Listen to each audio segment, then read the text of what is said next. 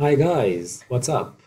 So I want to uh, share with you a tip how to use a Quokka.js tool uh, with a Java Playground code as a front-end developer. So as a front-end developer, we use generally in uh, JavaScript or TypeScript uh, for the logic. So here is an example that simulates the uh, client HTTP request with some uh, property and the server will get it and uh, do some logic for uh, this uh, input property. So let's just copy and go to IntelliJ to paste it there. But before, uh, before of that, please read this article if you love it. So please share and clap.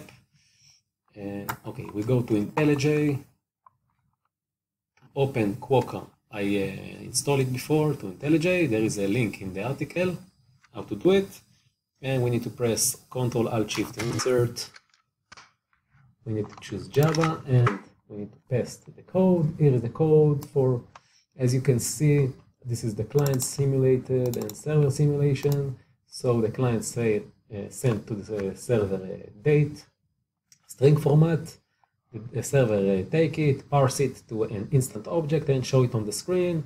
Here is, uh, just for this example, I uh, add one, add, I add nine seconds to the uh, instant date.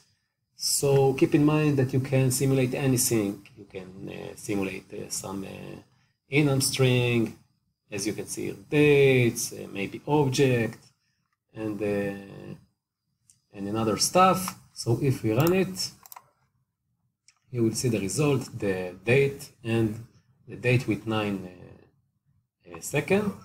So you can use it, and if you love it, please uh, share and clap. Bye guys.